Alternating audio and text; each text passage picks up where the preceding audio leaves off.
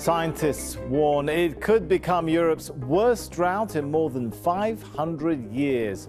Water scarcity has hit more than 60% of the continent, from Italy to the UK. Unprecedented droughts and heat waves have put water scarcity into sharp focus.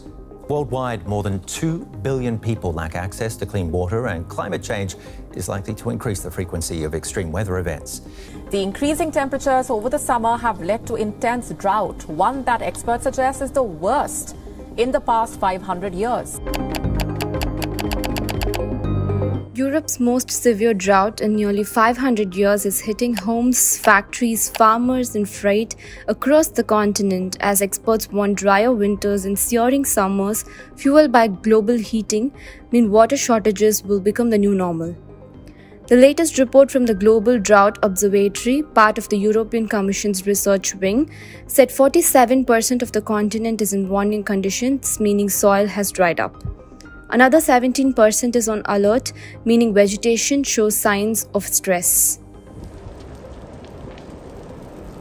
The report warns that the dry spell will hit crop yields, spark wildfires, and may last several months more in some of Europe's southern regions. The ongoing heat wave and water shortages have created an unprecedented stress on water levels in the entire EU, Research Commissioner Mariya Gabriel said.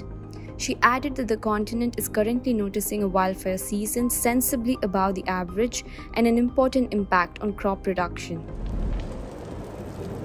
The report warned that nearly all of Europe's rivers have dried up to some extent. Apart from the obvious impact on boats, dry rivers are also hitting the energy sector, which is already in crisis. The conditions are likely to last until at least November 2022 along the European Mediterranean.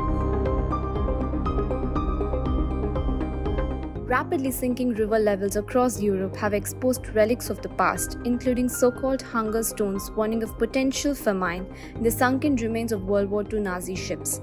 In the UK, which had an official drought declared in several regions, some trees exhibit a false autumn due to the heat. The parched condition of the Po, Italy's longest river, has already cost billions of euros in losses to farmers who normally rely on it to irrigate fields and rice paddies. France has also been hit this summer by historic drought that has forced water use restrictions nationwide. In addition to France, Portugal and Germany too have experienced a series of wildfire episodes triggered by heat waves that experts say are being driven by climate change. Thank you.